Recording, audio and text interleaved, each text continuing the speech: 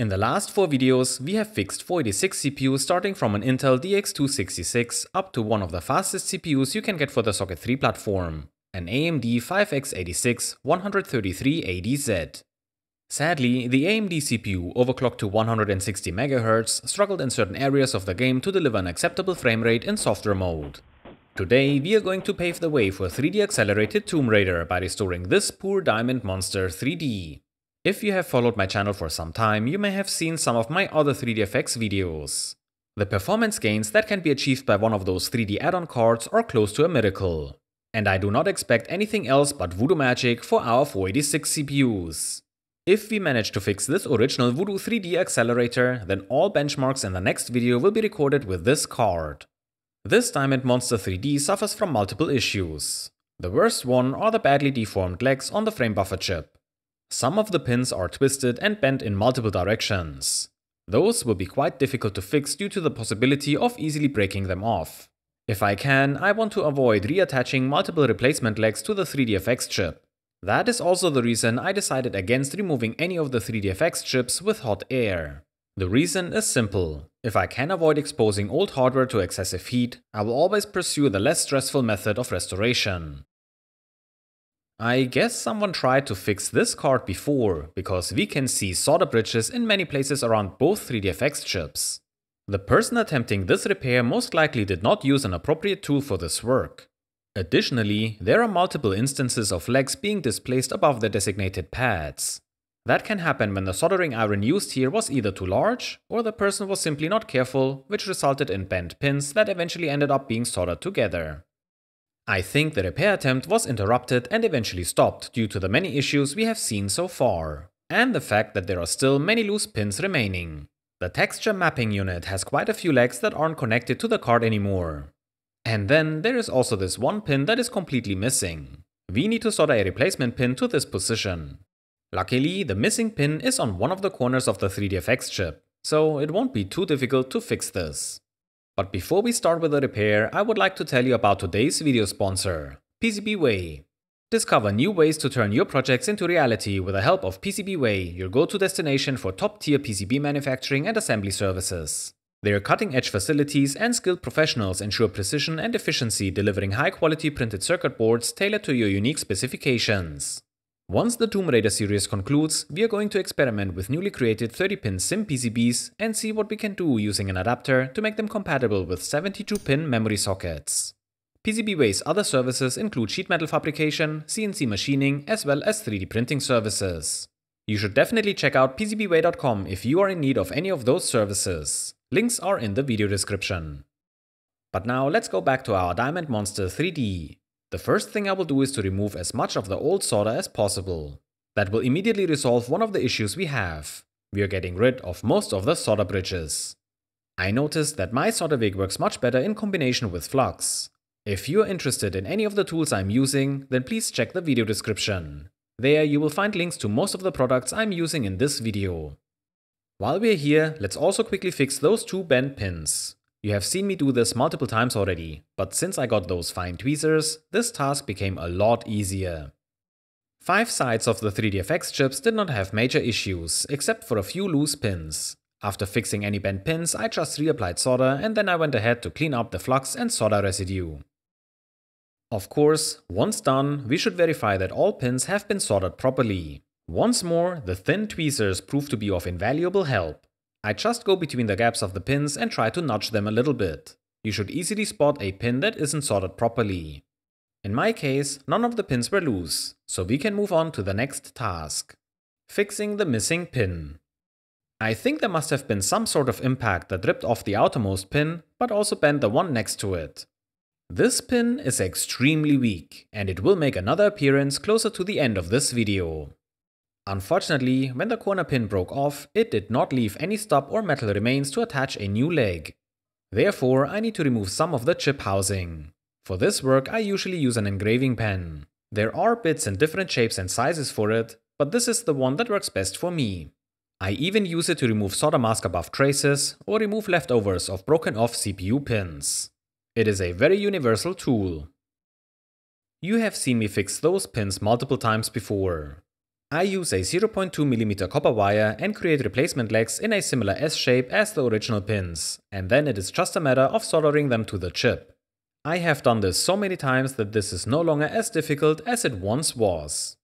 Now let's move on to the worst side of the frame buffer chip. Those pins are in really bad shape. Some are twisted and others are badly bent and have lost their original shape. I debated if I should remove the entire chip and try to work on the pins with the chip separated from the card. However, after looking over the damage, I decided against it. I most probably would have broken off a few pins trying to get them back in shape. That also means that this side won't look perfect after we are done. But I prefer a working card that doesn't look perfect over a card that has even more replacement pins soldered on. Each pin I work on feels different and the badly deformed pins are a lot weaker compared to the undamaged pins. One wrong move and those tiny metal legs will break off. I won't even try to get some of them back in shape. Others just have their base tilted or twisted. The tweezers do an amazing job once more and help to get those defects rectified. And after a few moments, this side is also ready to be resoldered. Of course, here we need to be a lot more careful. Once I was done with both 3DFX chips, I cleaned the areas I worked on properly with isopropyl alcohol and inspected the card once more. The 3DFX chips look really good. All pins have a shiny new solder connection to the card and most imperfections have been removed. Except for that one side on the frame buffer chip. But as I said before, I prefer this to soldering replacement pins to all the places where I probably would have accidentally broken off the legs. And then I looked over the memory chips, and I'm happy I did.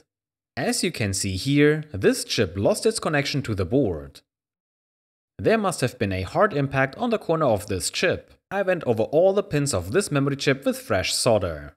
I don't think this damage justifies a complete removal of the chip. I also checked the other side of the card for missing or broken SMD components, but I couldn't find anything suspicious. We are ready to test this Diamond Monster 3D in our Socket 3 system. I'm always a bit nervous about using never before tested hardware. As a sanity check, I tested the PCI connector for possible shorts on the power delivery, but there was nothing wrong. So, let's see if this card works. The system is powering on with the Tseng ET6000 providing the image on the screen. So far, everything looks good. On the system summary screen, we also see a new entry in the table listing a multimedia device. This should be our 3DFX Voodoo card.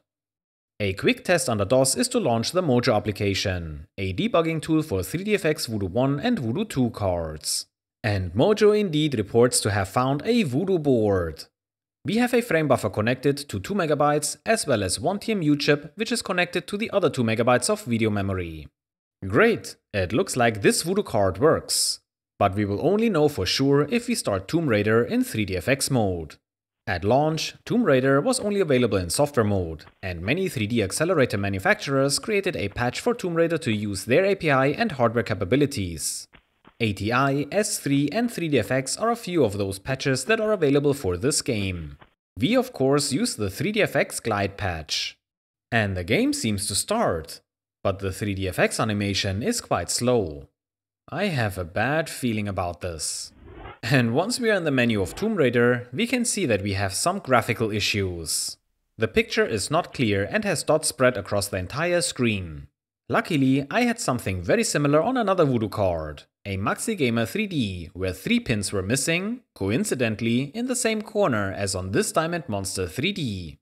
The pattern of the texture corruption is so similar that I immediately inspected the corner of the card once more. And now that one pin makes its reappearance. It was so weak that it must have disconnected while I was cleaning the card. I ended up replacing this pin as well. Now two pins have been replaced with copper wires in this corner. The follow-up test of this card looks a lot better now. The texture corruption is gone. I am really sorry that I am not showing any moving footage of Tomb Raider in this video, because I do not want to spoil the content of the next video.